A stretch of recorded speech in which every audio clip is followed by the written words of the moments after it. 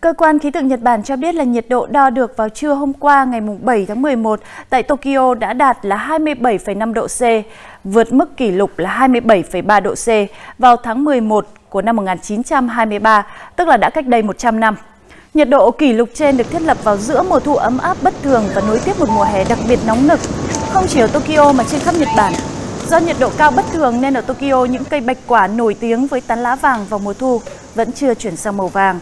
Trong khi những năm trước, đây là thời điểm thủ đô Tokyo đã nhuộm kín sắc lá vàng và lá đỏ.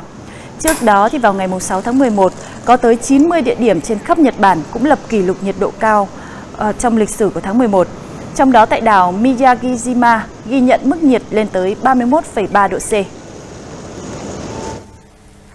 Tại Việt Nam thì chúng ta cảm nhận là nhiệt độ tháng 11 cũng không hề dễ chịu chút nào. Tại miền Bắc thì có những ngày nhiệt độ lên tới trên 35 trên 30 độ. độ. Rõ ràng là một mùa đông ấm đang hiện hiện ngày càng rõ nét hơn.